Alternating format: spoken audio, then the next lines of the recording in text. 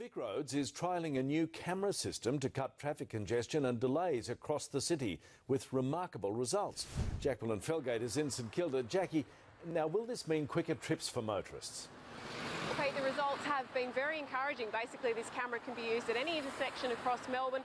When a car arrives, it'll be able to change the lights quicker than ever before, and that'll be, mean busy intersections like this one in St Kilda will hopefully flow a lot more smoothly in the future.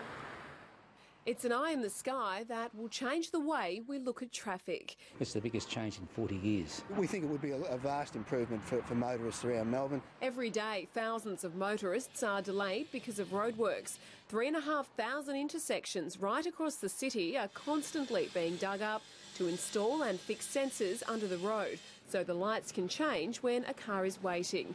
But this simple camera can automatically detect when a vehicle arrives, turn the lights green, and send a live image back to VicRoads via the internet. Zoom out, we can look around.